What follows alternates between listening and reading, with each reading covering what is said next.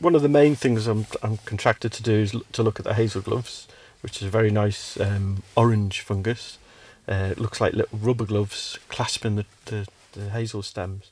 But what I'm looking at as well as I'm going through these these woodlands are the lichens, and the lichens are pretty good in a lot of these woods. Um, I mean, the, the west coast, Argyll in particular, um, also Lochaber, but particularly Argyll, is absolutely fantastic for lichens. Um, it's got different suites of species. One of them is called the Lobarion, which are the traditional uh, Celtic rainforest lichens, big flappy lobes that, that hang off the trees around here. And there's the Graphidion species, which are the smoothies, the smooth bark species, which you get on the smooth hazel stems. Um, now I'm looking at a range of each of these groups um, because they tell us quite a lot about how the woodlands were managed in the past.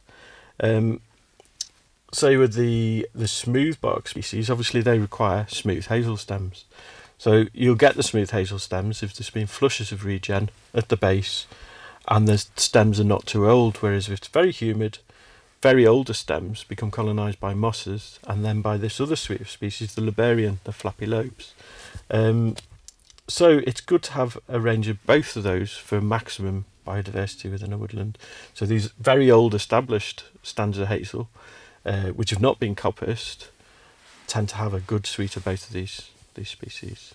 This suite of lichens are rainforest lichen, so clues in the name, I suppose, the rain. They're uh, quite wet with very mild winters. Um, and the other thing is, um, woodlands in Argyll have not been quite as intensively managed as down in the south of England. In the south of England, not to the hazel would have been coppice for coppice products. Now up here, the, the latest thinking is that that wasn't happened on that industrial scale.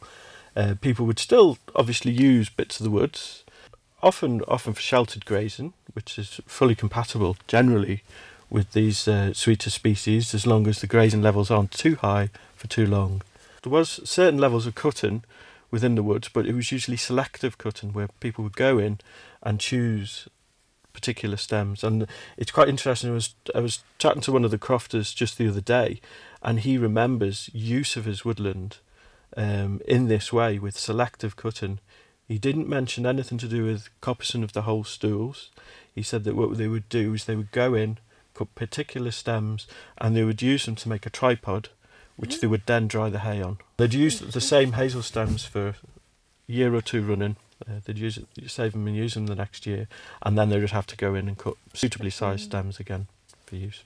We're collecting other information in this project, which is to do with um, how the hazel stands are, are doing. What what's the condition that they're in?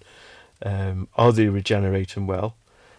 In west of Scotland, we've we've got populations of species which are rare in Europe. Um, so we've got a, a responsibility there, I think, to conserve the, the lichen interest that we have within these woods.